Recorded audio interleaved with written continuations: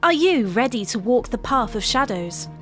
Assassin's Creed Mirage is taking us back to the roots of the franchise with a focus on stealth gameplay. Whether you're an assassin initiate or an experienced mentor of the Brotherhood, we've put together a few helpful tips to help you make the most of Basim's skills. Basim carries six tools that you can unlock and play with.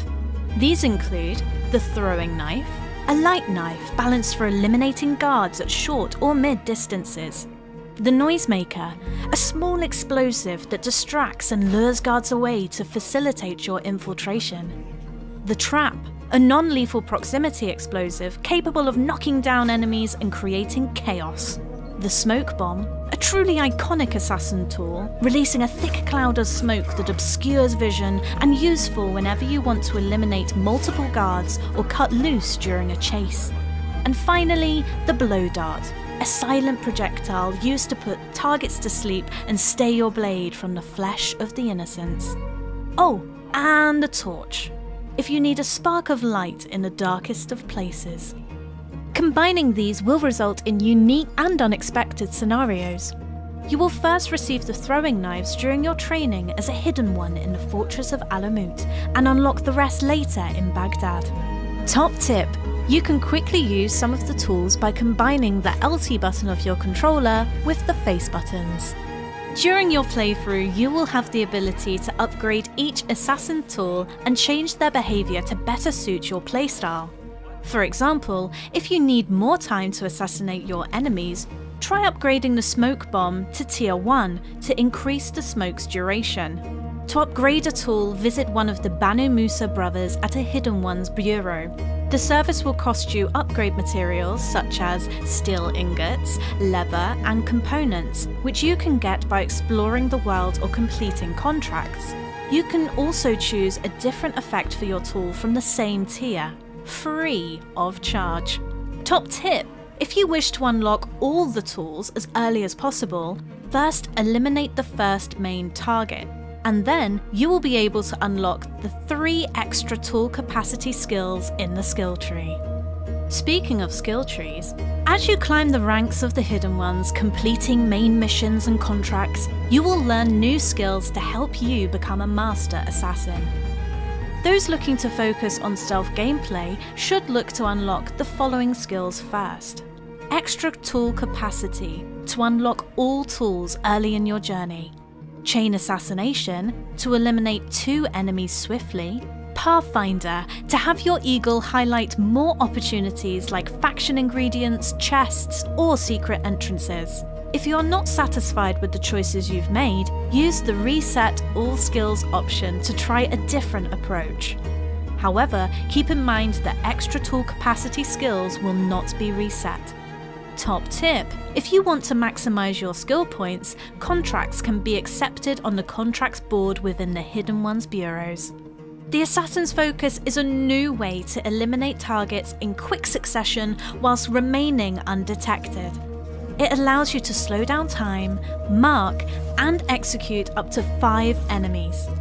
You can use it to plan an attack carefully, navigate rapidly in the environment, or even use it as an emergency kill if you're about to get spotted. There are countless ways to master it and create fun and breathtaking moments. But be careful where you land at the end of your strike, as you might end up getting detected if you are not cautious. To use this ability, first perform stealth kills to fill the focus bar. Each chunk of the focus bar allows you to assassinate one enemy within the assassin's focus. Once your focus power is charged and you are out of conflict, trigger the assassin's focus by pressing the right joystick to execute a perfect sequence of assassinations. You can use the ability from any position, even when jumping. Enkidu, Basim's eagle companion, can offer you a wider view of your surroundings. Do this by pressing up to switch to Enkidu's eye view.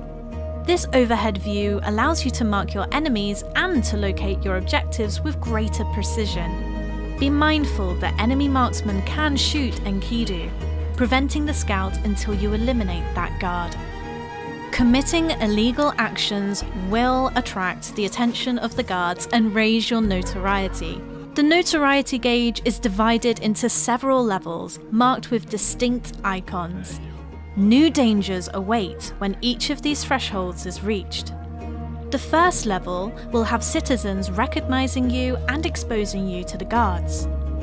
The second one will see archers populating the roofs of Baghdad and being hostile to you and your every move.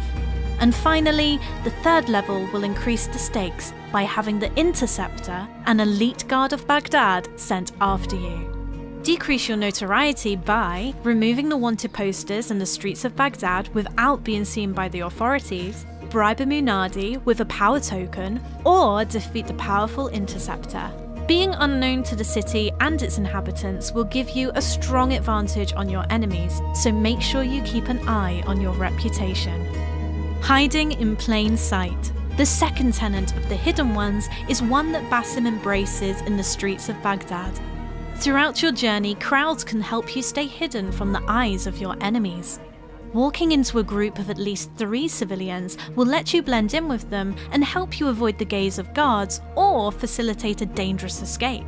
You can also bribe specific civilians using tokens to distract guards or stay hidden within a moving group a practical way to infiltrate locations of interest.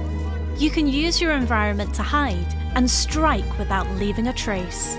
You can also use hiding spots like gazebos, cabinets, haystacks, and stalking zones, all of which will help you evade or get the jump on your enemies. Don't forget, whistling enemies by pressing right on the D-pad will lure them closer for a stealthy kill no matter where you hide. Becoming a Master Assassin is no easy task, but we hope these tips are helpful in getting you started on your journey to defeating the Order of the Ancients. And in the words of Roshan, remember, from this day forward, you are a hidden one.